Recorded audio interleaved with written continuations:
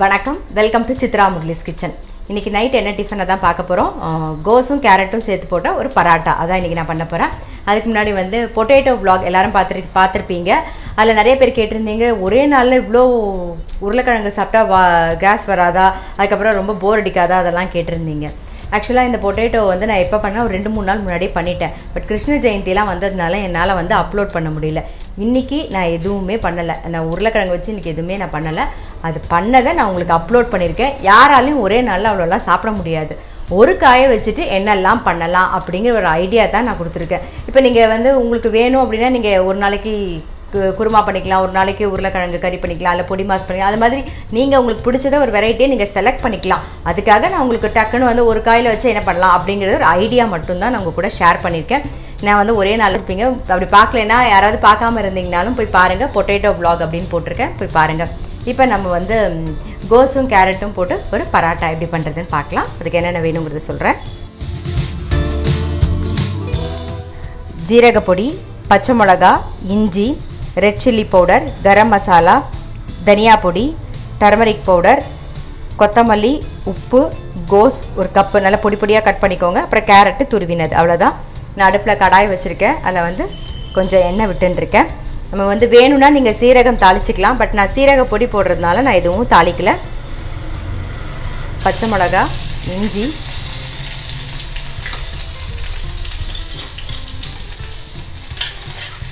போட்டு நான் கோஸ் கேரட் ரெண்டுத்தையுமே போட்டுடுறேன்.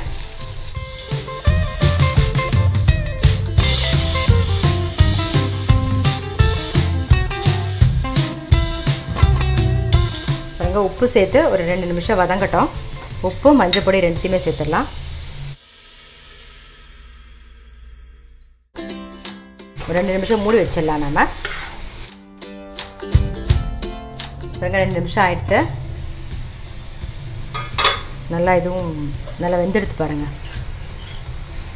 இப்போ வந்து இதில் வந்து நான் ஏற்கனவே வந்து பச்சை மிளகா சேர்த்துருக்கேன். ஸோ காரம் உங்களுக்கு தகுந்த மாதிரி பார்த்து போட்டுக்கோங்க. நான் வந்து ஒரு அரை டீஸ்பூன் வந்து ரெட் சில்லி பவுடர் போடுறேன். அப்புறம் ஒரு அரை டீஸ்பூன் தனியா பொடி.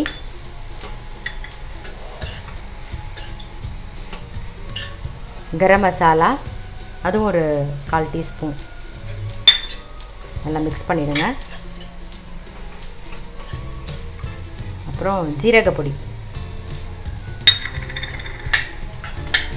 கோஸ் வந்து வாய்வு அதுக்காக நான் இஞ்சியும் போட்டிருக்கேன். ஸோ ஜீரணத்துக்கு நல்லதுன்னு ஜீரக பொடியும் சேர்த்துருக்கேன் இதில். கொத்தமல்லி போட்டுடலாம் அவ்வளோதான் அடுப்பை ஆஃப் பண்ணிவிடுவோம் கொஞ்சம் ஆறட்டும். நல்லா மிக்ஸ் பண்ணி விட்ருங்க கொஞ்சம் ஆறட்டும். இப்போ நம்ம கோஸும் கேரட் வந்து வதக்கினோமா நல்லா ஆறெடுத்து. அது ஒரு பாத்திரத்தில் மாற்றிடலாம் இதில் ஏற்கனவே நம்ம உப்பு போட்டிருக்கோம்.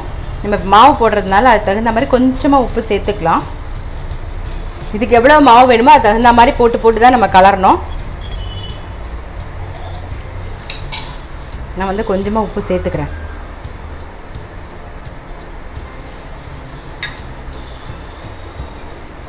மிக்ஸ் பண்ணிட்டேன். ஸோ இதுக்கு தகுந்த அளவுக்கு நான் மாவு போட்டு போட்டு கலரிக்கிறேன்.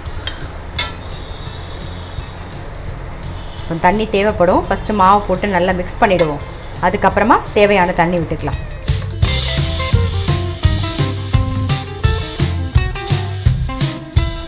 பாருங்க தேவையான மாவு போட்டு நம்ம பிசைஞ்சாச்சு.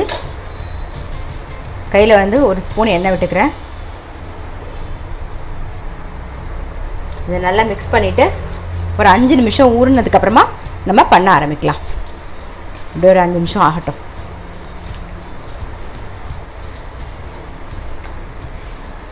பாருங்க ஒரு அ- அஞ்சு நிமிஷம் ஆகிடுத்து நம்ம வந்து நல்ல பெரிய உருண்டையாக எடுத்துடலாம்.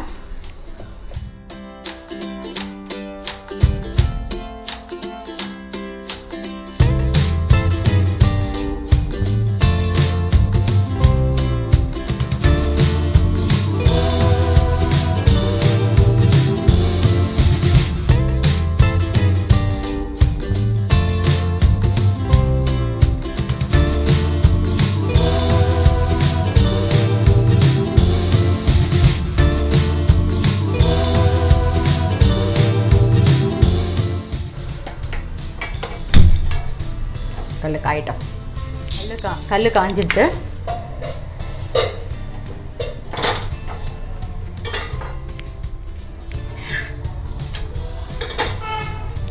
நெய்யோ இல்லை எண்ணெயோ என்ன வேணாலும் தடவிக்கலாம்.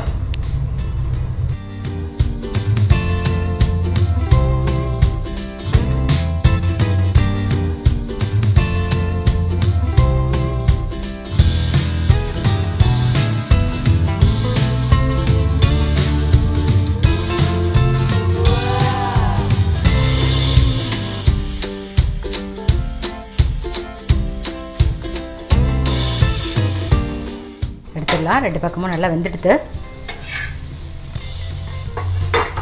நெக்ஸ்ட் டீ போட்டுறேன். இதே மாதிரி எல்லா பராட்டாவும் பண்ணி எடுத்துக்கலாம். இது வந்து ரொம்ப ஈஸி ஸ்கூலுக்கு டிஃபன் பாக்ஸும் கொடுக்கலாம். நைட் டிஃபனுக்கும் ஈஸியாக இருக்கும். காலையில் டிஃபன் பண்ணுறதுக்கும் ஈஸியாக இருக்கும். ஸோ நம்ம வந்து கோஸும் கேரட்டும் போட்டால் ஒரு பராட்டா எப்படி பண்ணுறதுன்னு பார்த்து பார்த்தோம். நீங்களும் கண்டிப்பாக உங்கள் வீட்டில் ட்ரை பண்ணி பாருங்கள் நான் அடுத்த ரெசிபியில் சந்திக்கிறேன்.